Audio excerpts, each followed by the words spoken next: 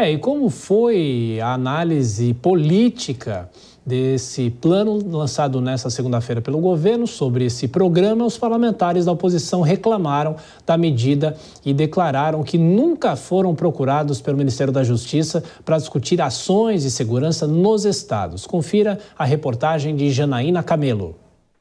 No Congresso, o programa anunciado por Flávio Dino no combate ao crime organizado foi recebido com críticas pela oposição. Parlamentares contrários ao governo alegam que a lista de propostas prometida pelo Ministério da Justiça e Segurança Pública não aparenta ser efetiva mas sim uma reação ao fato de que pegou mal o governo federal ter reduzido do orçamento do ano que vem recursos voltados às ações de enfrentamento à criminalidade e políticas públicas na segurança.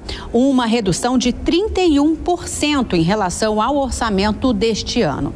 A Comissão de Segurança Pública e Combate ao Crime Organizado da Câmara já aprovou o requerimento para ouvir o ministro, ainda sem data marcada. Além disso, o programa anunciado ocorre diante da violência que assola o estado da Bahia e a crise de segurança do Rio de Janeiro. Para o deputado Kim Kataguiri, do União Brasil, o programa anunciado serve para blindar o governo Lula de uma suposta impopularidade na área de segurança pública. O governo Lula cortou 700 milhões de reais do combate ao crime organizado em relação ao orçamento deste ano para o ano que vem.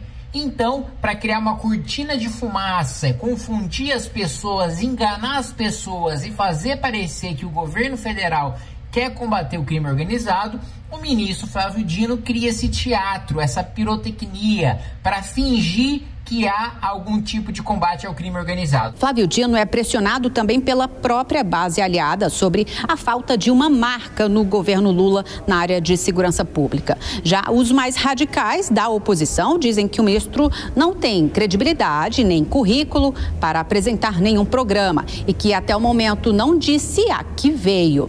Durante o anúncio, Dino também enviou uma carta ao presidente da Câmara, Arthur Lira, pedindo apoio a propostas de segurança pública em trâmite na casa. Os deputados que fazem parte da bancada de segurança reclamaram da atitude, alegando que nunca foram procurados pelo ministro da Justiça para tratar de medidas da área.